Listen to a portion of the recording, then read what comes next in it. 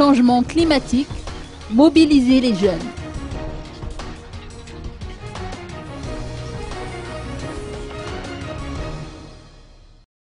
Afin de réduire les effets néfastes du changement climatique, la Direction générale de la météorologie préconise la mise en œuvre d'une stratégie de développement considérant une adaptation appropriée au changement climatique.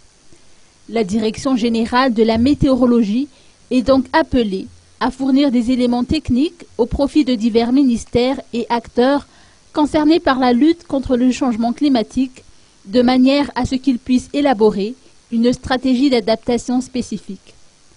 D'après le DG de la météorologie, les conséquences néfastes du changement climatique se font actuellement ressentir dans la Grande Île, notamment dans les domaines de l'agriculture et de la santé.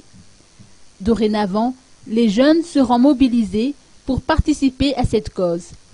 Deux journées de réflexion orientées sur cet objectif se tiennent depuis ce matin à l'hôtel Colbert d'Antannarin.